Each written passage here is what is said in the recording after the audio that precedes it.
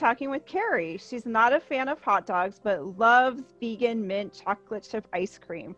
Her nickname is Freckles, and she wishes she was from a tropical island and has a collection of over 200 crystals. Today, she's sharing about her time in Paris. So, welcome, Carrie. I'm so excited to hear about Paris. Oh, thank you so much. And that is probably the most unique introduction I've ever had. Absolutely. That's fantastic. So, Carrie, the timer is starting. We have seven whopping minutes to get through this. So, can you just tell us a little bit like why you chose Paris? Like, how did that destination get selected? Yeah. So, um, at the um, I was 38 years old. I had never traveled out of the country at all. I had my children super young, and any place we traveled was inside the continental United States. And so when I had an opportunity to travel to Europe and um, explore and just see places that I'd never seen before and get into cultures that I've never experienced before, I was like raising my hand, I want to do this. And um, the way I actually decided to go there, so I'm a psychic, and this was where my guides had led me to go. They said it was an, an important connection, there was something important within inside of the city, um, and just the energetic space for it. So when they said Paris, I was like, yep, I'll go. I'm raising my hand. me too. I like your psychics, they know. Oh my gosh, that's great. So, how many people were with you, um, and how many times have you been then to Paris? Because it sounds like you've maybe been back since the very. I have. Okay. Yeah. So the first trip I actually did a double event and I did it with some colleagues at the time. And um, so we went to London first and did an event. And I'm pretty sure there was about 10 to 15 people at the event. And then in Paris, there was, gosh, at least 10 or 12 people at the event. And it was, it was amazing. And everybody had such a great transformation. And it was nice because at the time I was able to travel through the city and it was a quick in and out trip.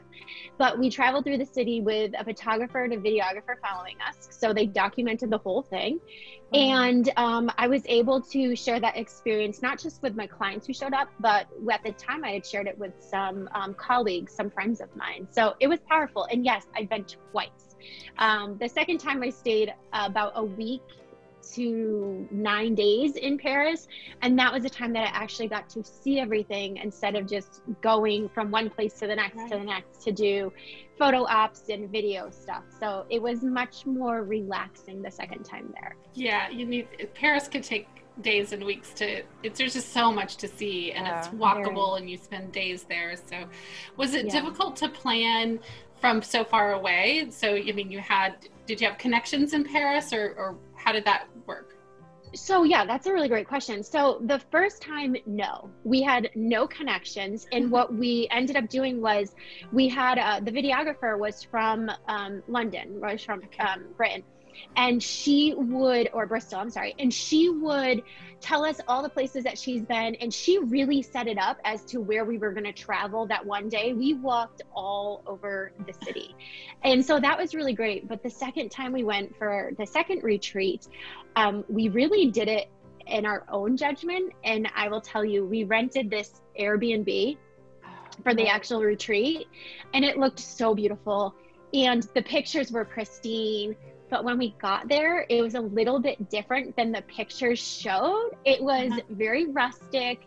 Um, the gentleman was so nice who did it, and you could tell he knew we were surprised at what it looked like. Um, but it was a very unique experience. We weren't allowed to drive down the road. We had to walk with our luggage. We were staying in Paris for, or in France for uh, seven to 10 days. And we had these huge suitcases because I had come from, not from home, I had come from Arizona and spent a week in Arizona, flew right over to Paris. And we were lugging them up like two flights of stairs. Narrow, narrow, small stairs. Typical Paris, yeah. Right, yes, right. Yes, yes, yes. That's amazing. Oh my gosh. So on either of the trips, besides the unexpected Airbnb situation, was there something else that was kind of unique or unexpected since, you know, especially during your first trip, you've never been you know yeah i think that for me just the architecture of the city was amazing. I come from, I live in Connecticut in the US, and I come from a very country, suburban type feel. And being in the city and the streets and the buildings and just all of the architecture even the the flowers the plants is just so different and it's so beautiful that to me that was such an experience and we were able to go see um, the cathedral at notre dame and it mm-hmm. was unbelievable and i think that was so that was so powerful aside from the other thing was they have some pretty amazing stores in paris yes, and yes, walking down do. one street with all these stores i was right. like oh, i need to come back here just to shop it was right yeah it was great Oh my gosh. it's one of my favorite things about Paris is all the little tiny shops, right? Like there's unique yeah. stuff and you're popping in and out and you know, you yeah. walk in and you're like, oh my God, there's all this I didn't even know. Yeah. Yeah. it's amazing. Windows, the window displays alone yeah. are just over the top. They're stunning. yeah. It's yeah. nothing like around here. It's really no. not. It's so different. It's so different. Yeah. It's beautiful and when you talk about like those narrow uh, hallways and like the little tiny elevators i mean that's just typical europe because all those buildings the architecture they're yeah. hundreds of years old so they didn't you know nobody had big luggage right, right yeah. And yeah. they weren't trying to you're not trying to fit like six people into an elevator that only fits two people into the elevator. So. Right. Well, and the elevator is probably an afterthought, right? It was built yes. before there were even elevators. Yeah. So all that yeah. craziness. So do you yeah. have a favorite? It sounds like your second trip was more, you know, you got to see more. Do you have a favorite place or activity in Paris that you, you know, remember a memory that you want to share with us? Um, I really liked, um, I, it's so cliche, but I loved the Eiffel Tower and I loved the park right outside of it. And um, there was a huge Ferris wheel, which was amazing because when you were at the top, you could see so many things. So it was really, it was really powerful. And actually, the first time we went to Paris, the Eiffel Tower was all blocked off because they were doing maintenance on it.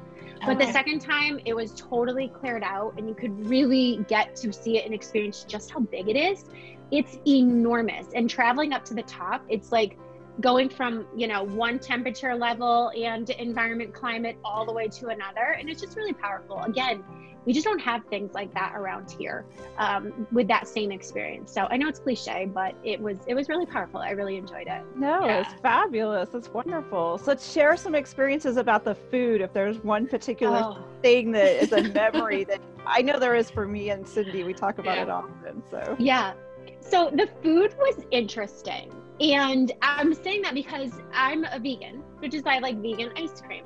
Mm. And when we first traveled to uh, Paris, there is a miscommunication as to. You can keep talking. Finish yeah, finish, yeah. yeah. Okay. There's a miscommunication as to what vegan is. And oh. they were under the impression that vegan can also eat fish. And so we had to really clear that up. So the first time was a challenge, but it was something that the second time we made sure that we mapped out every single place that there truly was a real vegan restaurant. And they have some amazing vegan restaurants there that we didn't get to experience the first time, but we found and we made sure we visited the second time around. Oh. So it was really good. It was really, really good. That's, oh, amazing. you know, and we we've done another episode on dietary restrictions when traveling, and so yeah. when you said that they didn't know that vegans couldn't eat fish, like that was one of the things we discovered was that certain things are not universal, right? You say vegan right. or vegetarian, and not everybody sees it the same way, right? They're not connecting the dots, so you really have to know that you need to be explicit as what you want or not.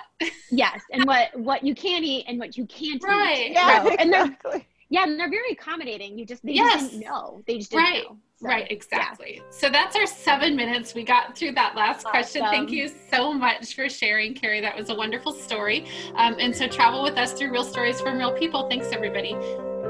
Thank you.